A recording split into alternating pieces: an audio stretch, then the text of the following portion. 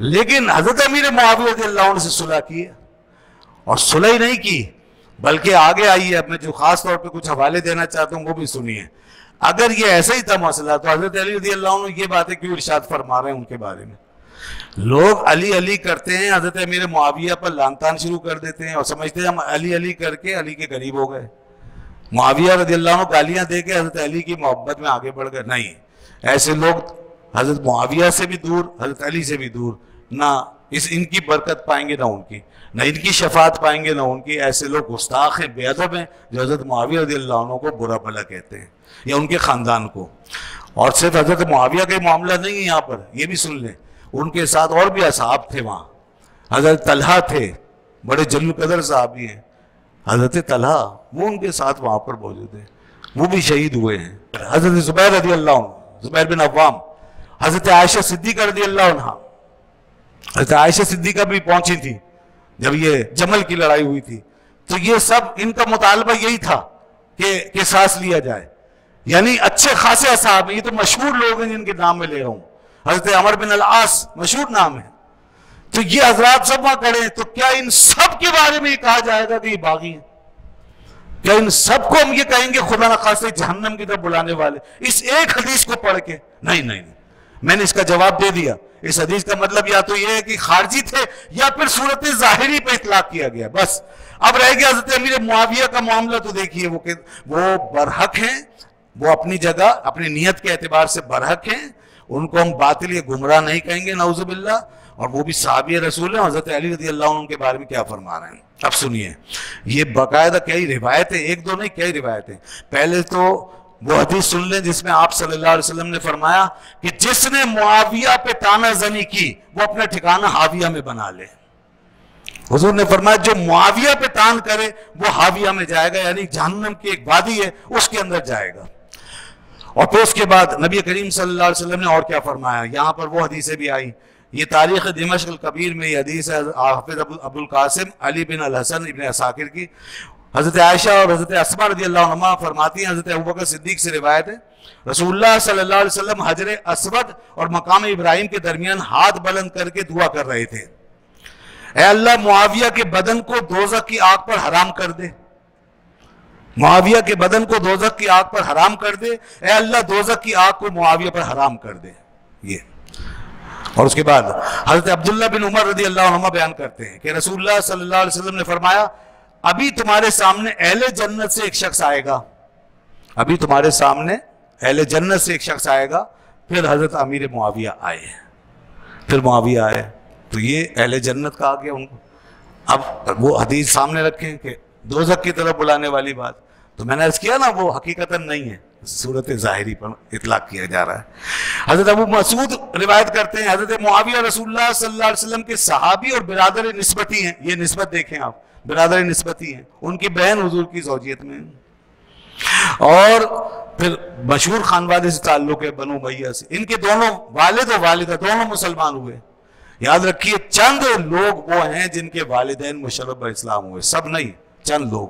یہ خوش نصیب لوگوں میں حضرت ابیر معاویہ بھی داخل ہیں۔ حضرت ابو سفیان ان کے والد ہیں اور حضرت ہند ان کی والدہ ہیں۔ یہ بھی مسلمان اور جس طرح میں نے ابھی حضرت عمار کا کہا، ان کے بھی والدین مسلمان ہوئے۔ حضرت ابوبکر صدیق رضی اللہ عنہ، ان کے بھی والدین مسلمان ہوئے حضرت نعمان بن بشیر رضی اللہ عنہ، ان کے بھی والدین مسلمان۔ یہ چند لوگ ہیں بس جن کے والدین مسلمان ہوئے۔ حضرت امیر معاویہ کو نسبت حاصل ہے؟ اور کیا؟ فرمایا برادر نسبتی ہیں اور وہی کے کاتب ہیں۔ لیجیے جناب، کتابت ہے وہی کتنا اہم مقام۔ یہ حضرت امیر معاویہ کو حاصل ہے۔ اور اس پر امین ہے اور رسول اللہ صلی اللہ علیہ وسلم فرمایا، میرے لیے میرے اصحاب اور میرے سسرال والوں کو چھوڑ دو۔ ان کو برا نہ کہو۔ بس جس نے ان کو برا کہا، اس پر اللہ کی لانت ہو، اور فرشتوں کی اور تمام لوگوں کی۔ یہ فرمایا اس کے بعد ایک اور حدیث سنیے۔ حضرت ربیم رضی اللہ عنہ بیان کرتے ہیں کہ نبی صلی اللہ علیہ وسلم کے پاس ایک عرابی آیا اور کہنے لگا، یا رسول اللہ، مجھ سے کشتی لڑیے حضرت معاویہ نے کھڑے ہو کر کہا، میں تم سے کشتی لڑوں گا۔ نبی صلی اللہ علیہ وسلم فرمایا، معاویہ ہرگز کبھی مغلوب نہیں ہوگا۔ معاویہ کبھی مغلوب نہیں ہوگا۔ پھر حضرت معاویہ نے اس عرابی کو پچھاڑ دیا۔ جنگ صفین کے دن حضرت علی نے کہا، اگر مجھ سے اس حدیث کا پہلے ذکر کیا جاتا تو میں معاویہ سے جنگ نہ کرتا۔ یہ حدیث آئی۔ تاریخ دمش میں حدیث موجود ہے۔ تو ایسی بہت ساری حدیث۔ ابھی میں اور پیش کر رہا ہوں۔ اب حضرت علی رضی اللہ عنہ کا ذرا سنیے کہ وہ کیا فرماتے ہیں۔ اور یہ مصنف ابن ابھی شیبہ میں آیا۔ اب جو حضرت علی کو مانتے ہیں، یہ تو وہی والی بات ہو جائے گی نا، علی کو مانتے ہیں علی کی بات نہیں مانتے۔ جیسے حضرت حسن کو مانا ان کی بات نہیں مانی۔ اس وقت بھی۔ انہوں نے حضرت معاویہ کے ہاتھ پہ بیعت کی۔ حضرت امام حسن مشتبہ نے۔ اور دیکھیے محبت کے دعوے دار حضرت امام حسن کے خلاف ہو گئے۔ کہنے لگے، آپ نے تو ہمیں ذلیل کر دیا۔ تو یہ کیسی بیعت ہوئی بھائی آپ؟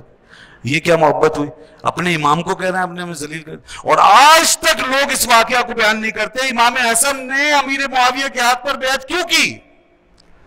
اگر وہ باغی ہیں، نعوذ باللہ، اگر وہ جہنم کی طرف بلانے والے ہیں، اگر وہ غلط ہیں، تو پھر ان کے ہاتھ پر بیعت کا کیا سوال ہے؟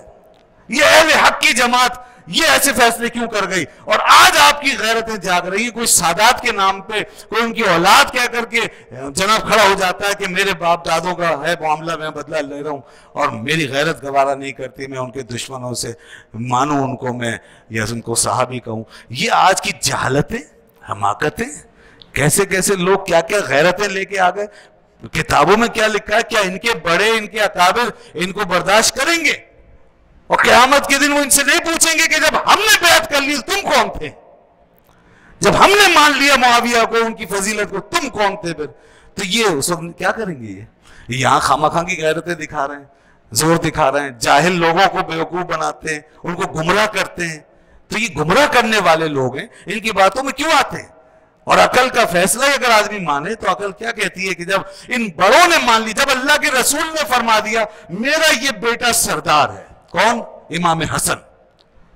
اور اللہ تعالیٰ اس کے ذریعے سے مسلمانوں کے دو بڑے گروہ میں صلح کرا دے گا۔ وہ صلح کرا دی ہوں تو اگر یہ حق کو باطل کی جنگ ہوتی تو حضور فرماتے کہ نہیں بیٹا، صلح کبھی مت کرانا، وہ تو جہنمی ہے۔ ایسی بات کہیں آئی ہے؟ نہیں۔ تو اب جہاں وہ فرمایا تھا کہ جہنم کی طرف بلائے گا، وہ گروہ اس سے مراد خارجی ہیں اور اس سے مراد صورت ظاہری ہے بس۔ حقیقت یہ ہے کہ مسلمان ہیں، ادھر بھی مسلمان ہیں، ادھر بھی مسلمان ہیں۔ اور امام حسن نے بیعت کی، امام حسین رضی اللہ عنہ نے بھی مانا بیعت کی۔ ان سب بزرگوں نے مانا اور اس کے بعد ہمیشہ ان سے تعلق رہا۔ پھر حضرت علی رضی اللہ عنہ کیا فرما کر گئے؟ وہ سن لیجیے۔ نام لے کے سراتن فرمایا۔ حارث بیان کرتے ہیں کہ جب حضرت علی رضی اللہ عنہ صفین سے واپس آئے تو آپ نے ایسی باتیں فرمائی جو اس سے پہلے نہیں فرماتے تھے۔ آپ نے فرمایا، اے لوگوں، معاویہ کی عمارت کو ناپسند مت کرو۔ اللہ کی قسم، اگر تم نے اس کو، ان کو گم کر دیا، تو تمہارے کندھوں سے تمہارے سر ہنزل کے پھل کی طرح گرنے لگیں گے۔ یہ مصنف ابن ابی شہبہ کنز العمال تاریخ دمشق، ان سب کتابوں میں یہ حدیث موجود ہے۔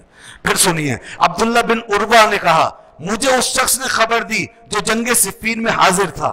کہ حضرت علی رضی اللہ عنہ کسی رات باہر نکلے۔ آپ نے اہل شام کی طرف دیکھ کر یہ دعا کی۔ اے اللہ میری مغفرت فرما اور ان کی مغفرت فرما۔ پھر حضرت عمال لائے گئے تو آپ نے ان کے لیے بھی یہی دعا کی۔ یہ صفین کی لڑائی سے پہلے کی بات۔ اور وہ مغفرت کی دعا کر رہے ہیں ان کے لیے۔ یزید بن اسم بیان کرتے ہیں کہ حضرت علی رضی اللہ عنہ سے جنگ صفین کے متعلق سوال کیا گیا تو آپ نے فرمایا، ہمارے مقتول اور ان کے مقتول جنت میں ہیں۔ یہ کیا ہے؟ فرمایا جنت میں ہے۔ اور یہ معاملہ میرے اور معاویہ کی کی طرف سونپ دیا جائے گا۔ یعنی یہ ہمارے حوالے کر دیا جائے گا۔ ہم جانے ہمارا کام جانے لوگ اس میں نہ پڑھیں لوگ خامہ خواہ کی غیرتیں مت دکھائیں۔ تمام بزرگوں کا احترام کریں۔ کوئی اولاد اس طرح اولاد نہیں ہو سکتی کہ اپنے باپ دادوں کے خلاف، ان کی باتوں کے خلاف چلے۔